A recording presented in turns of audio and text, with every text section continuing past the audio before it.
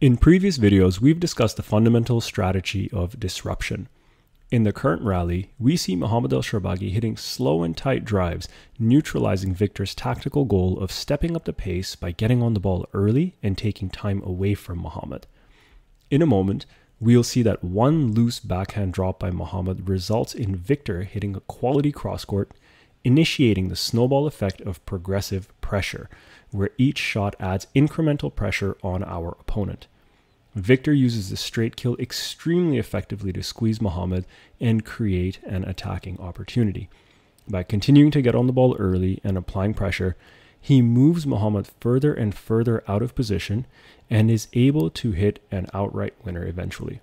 A goal for your consideration is to become aware of your inherent strengths and preferred style of play.